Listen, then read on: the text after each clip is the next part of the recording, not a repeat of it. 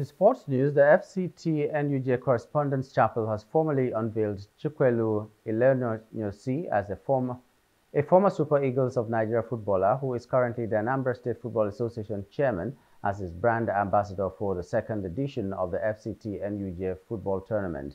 The unveiling of the football icon known as the General in his playing days was held in Abuja on Tuesday, the 18th of June 2024 tagged Football for Friendship and Peace, the chairman of the FCT NUJ Correspondent's Chapel, Comrade Jide Oyekunle, at the unveiling ceremony, eulogized the brilliant quality of the general, both on the field and as a player, and off the field as an excellent manager as the Anambra FA chairman.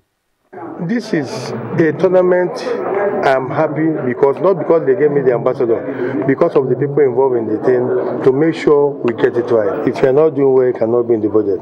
So I give thanks to Almighty God, uh, to Professor Chukwuma Soludo for believing in us because we are concentrating on the grassroots football to our kids to come out of trouble.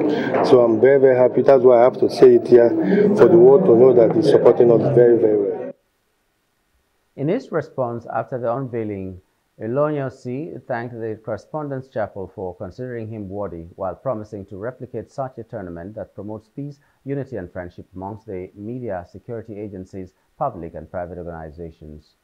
We are using this football to promote and shape the synergy with these organizations, particularly the security agencies, whom our members always interface with on a daily basis.